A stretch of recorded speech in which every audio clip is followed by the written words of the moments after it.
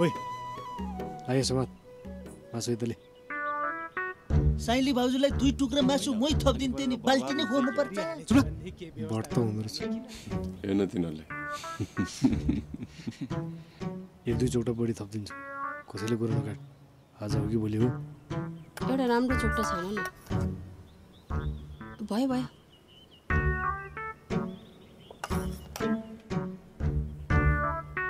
मलाई पनि एक डाडु थपिदिनु न। किन? मेरो पनि तिन महिना चलिरहेछ।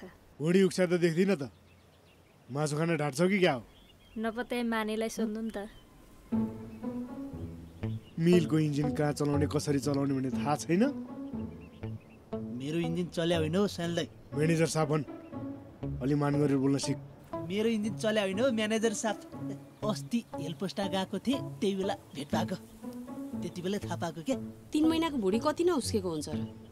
एक डाडु थपिदेऊ हस् हजुरले जे भन्नुहुन्छ म त्यही मान्छु तर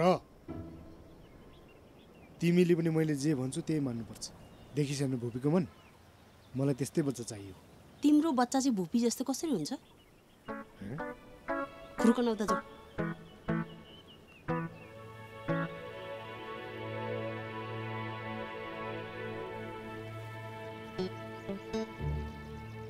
आफू जस्तै खबटे बच्चा जन्मिन्छ भनेर आत्तिस कि क्या हो।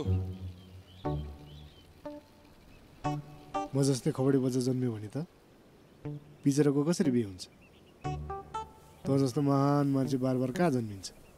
अरूको बिहे गरिदिनु म त नाति नातिनीको अनुहार हेर्न नपाए मर्छु कि क्या हो?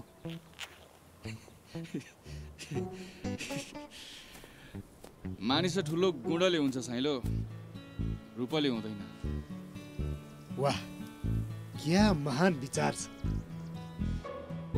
भविष्यमा मेरो बच्चालाई पनि त जस्तै खतरा कलाकार बनाउँछु। खतरा कलाकार। तर यस्तो महान कलाकार जन्मेको गाउँमा एउटा नाटक घर त छैन। कसरी बन्छ त त्यो खतरा कलाकार।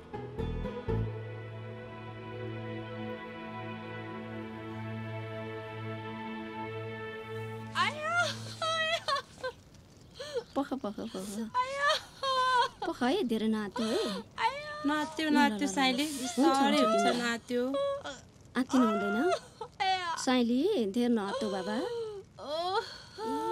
बल गर साइली बल गर एकैछिनमा जाऊ। जोड लगाऊ हैसे गदालाई त नि म मरिन धेरै नगरौ बाबा साइली गधा भन घोडा भन हात्ती उठ जे भन्न मन लाग्छ भन तर पाउन चाहिँ मान्छे पाऊ है साइली। अब चाहिँ म सिरानीमा चक्कु राखेर सुतिनँ भने चाहिँ नि।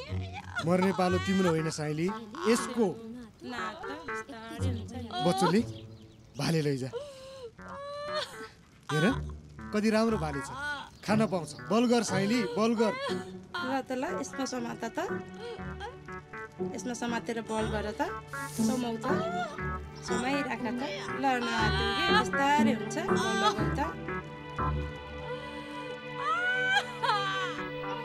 कुन साइडमा परेछ?